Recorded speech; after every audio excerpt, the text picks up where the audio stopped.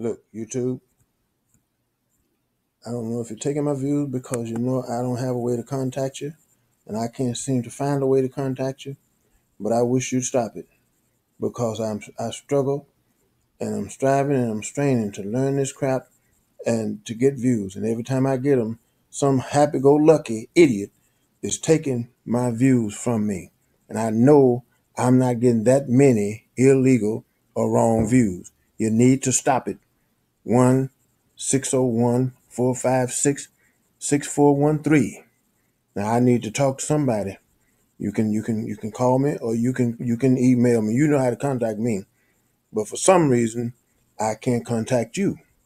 So my message to you, and I'm gonna put it on a on a video, is to stop taking my views.